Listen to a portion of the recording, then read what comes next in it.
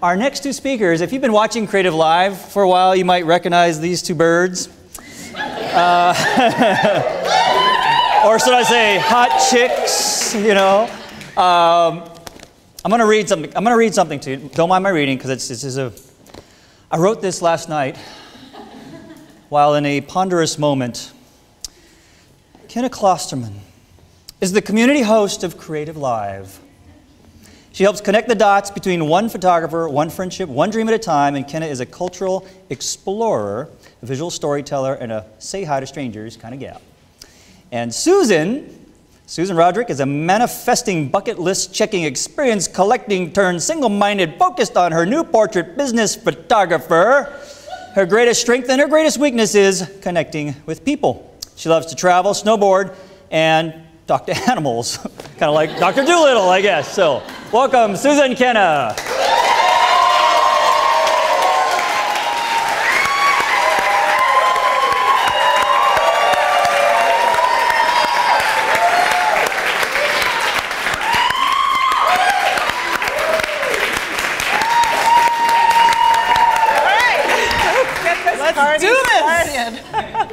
Alright, hi, I'm Kenna. And I'm Susan. And you may, you may recognize us as hosts of Creative Live. So we're, yep, we are. we're going to tell you a story about how we went on a journey around the world, and one of us had to learn how to let go and face their fears, and one of us had to learn how to hold on and make it happen. So when we left, we were both lost. We were living in corporate jobs, and we were miserable. We went on this journey to go explore and find answers, and we did even if they weren't the answers that we thought we were looking for. So corporate America made me feel like I was waiting to live. I was like, oh, is it time to live yet? I didn't want to live part-time and work part-time. I just wanted to live full-time, feel alive all the time. That's what I wanted. when we left, I felt trapped. I was 33 years old. I was depressed. I was anxious. I had a Wharton MBA, and the last thing I wanted to do was spend another minute in the business world.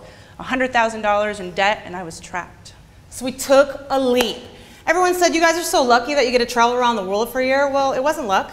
This was a huge commitment that we made. It was a huge leap. It took a lot of guts, and we risked it all to do this trip. And it paid off in the long run, didn't it? That it did. Uh, one of the funny things when people hear that we spent 24 7 together for a year traveling around the world, they say, Wow, and you're still friends? Yeah. As you can see, we are. It was we touch are. and go there for a minute because that Australian guy talked to me first. I don't think so. Yes, he did. I do not think so. So the best so. part about traveling around the world was that we got to travel around the world. The worst part was that we had to come home and everything that we ran for was basically facing us right here when we got back. Mortgage payments, student loans, job interviews, dating websites. This photo, this photo of the two of us is one that we both love. We look at this and we say, wow, that is the essence of the joy that we felt traveling around the world. And yet, just because we did that, just because we were with this, these kids, does not make us Mother Teresa. She's kind of always Mother Teresa, but inspiration does not equal change, okay? I'm inspired by everything. A butterfly goes past my head and I'm like, it's a sign, I'm so inspired. but honestly, honestly, inspiration doesn't make you act, it doesn't make you do anything. And coming back was an absolute struggle for me. I knew I fell in love with photography, but what was I going to do with that? It didn't make me money. I didn't know how to start. I didn't know where to act. I was just struggling. And when I came back, the economy had tanked. And my dreams and my fears tanked along with it. And I found myself back in corporate America in a cubicle, and I was paralyzed. I could not get out of bed. I was crying every day. Do you know how that feels? Yes. Do you know how that feels? Yes. Not very good. No, not very feel, good. Doesn't feel good at all. No. Not even a little bit.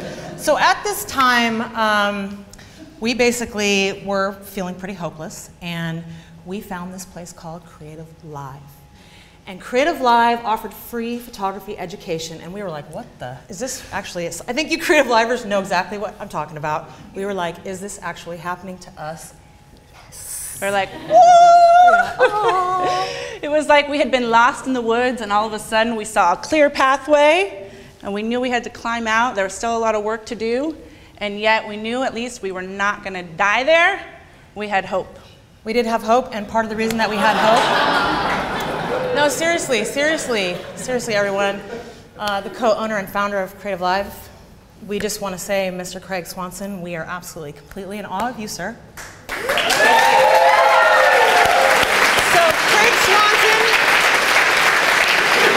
Craig Swanson, I got 15 seconds here, people. Craig Swanson made a commitment to this, and this is what I need to do, make a commitment. I found photography, I found a portrait business, but I honestly, I want to do everything so badly that I don't ever do anything at all. So I need to make a commitment to something, and this is the bottom line for me. It's not about necessarily finding it, it's about making a commitment to it.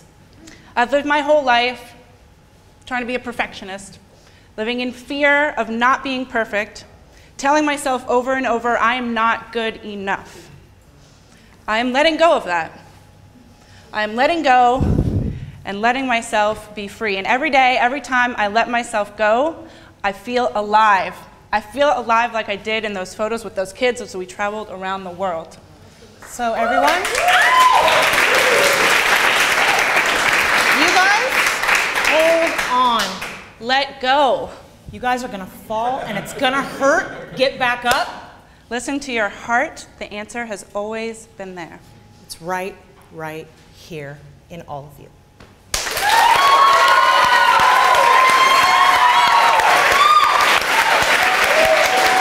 Good job, guys.